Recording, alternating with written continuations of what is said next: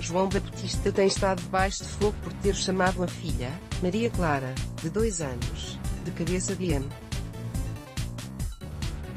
Após ter recebido várias críticas da forma como tratou a menina, o ator marcou presença no Manhã 900 apóstrofo, da CMTV, onde se justificou sobre a escolha das palavras, estou aqui contra tudo e contra todos. Falo das pessoas que me amam, que me conhecem, que me dizem que eu não tenho que provar nada a ninguém, pois sabem a pessoa que eu sou e o pai que sou.